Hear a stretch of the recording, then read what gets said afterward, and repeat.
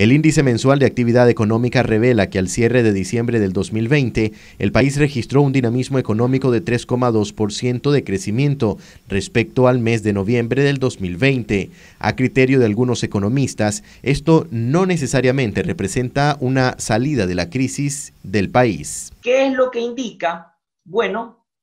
indica que hubo un incremento en la actividad económica de ese mes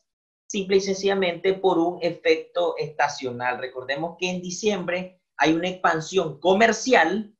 que eh, aumenta los niveles de consumo, eh, las tradiciones la cultura, en este caso también se dejan sentir en la actividad económica de un país y por supuesto que en diciembre la gente se movilizó para comprar regalos, se movilizó para la cena navideña, se movilizó, la, la familia se movilizaron para celebrar la gritería, eh, también se movilizaron para el consumo de,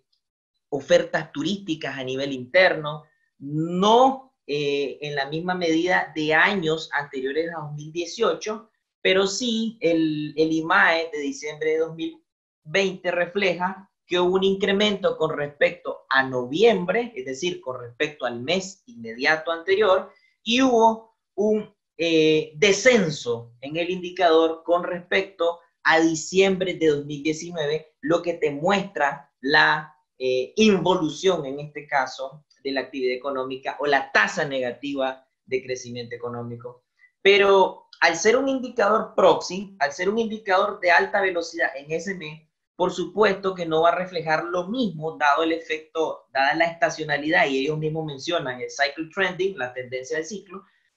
no es lo mismo ya para enero de 2021 ni para febrero de 2021, que por supuesto ya son otros desafíos económicos los que tienen los individuos y las familias nicaragüenses en este sentido. Peña explica que aunque hay estimaciones bastante positivas al cierre del 2021, esto podría sufrir variaciones respecto al comportamiento social en este año electoral. Esto afecta eh, y determina sus tomas de decisiones en términos de producción, consumo, inversión y ahorro.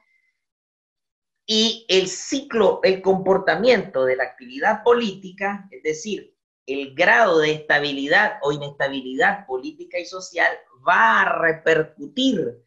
en el comportamiento de la actividad económica. Eh, la recuperación va a depender de que se vaya restableciendo un clima adecuado de inversión, de que haya atracción de inversión extranjera directa, de que se respete la propiedad privada, de que se respete la libertad de empresa, de que haya un macro consenso en la sociedad nicaragüense. Marcos Medina, Noticias 12.